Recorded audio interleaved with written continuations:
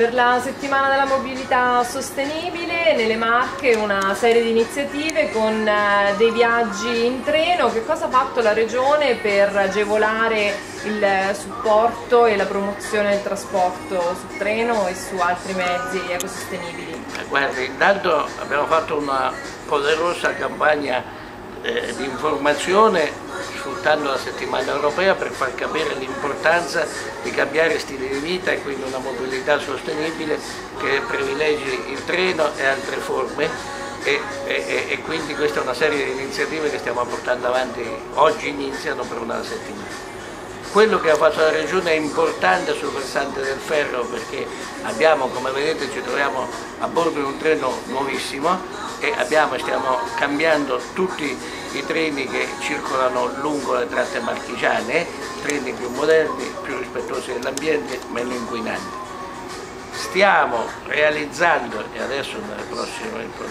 prossimi minuti lo vedremo, tutta una serie di iniziative che porteranno all'elettrificazione completa del tratto Civitanova Alpagina, che è una roba storica, è il più grande investimento dopo la quadrilatero che nelle Marche si fa per eh, la mobilità,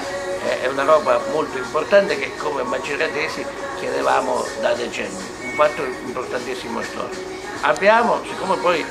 eh, siamo stati accusati molto negli anni scorsi, nei mesi scorsi per aver puntato sulle ciclovie, pensiamo che ci sia un discorso molto importante nel quale noi crediamo molto, che è quello di incentivare le, le ciclovie collegando la costa con l'entroterra, dando la possibilità attraverso delle vie appunto organizzate e strutturate di visitare i territori, i nostri territori bellissimi, un ambiente incontaminato dell'entroterra che tutto il mondo ci invita. Ci abbiamo investito molto, e, e vogliamo essere una delle regioni appunto che eh, su questo progetto di ciclovie sarà capofila. Non a caso tutto l'investimento della ciclovia adriatica che parte da Trieste arriva a Lecce ci vede come protagonisti perché la regione Marche sarà, è la regione che coordina tutti i lavori e tutti gli investimenti.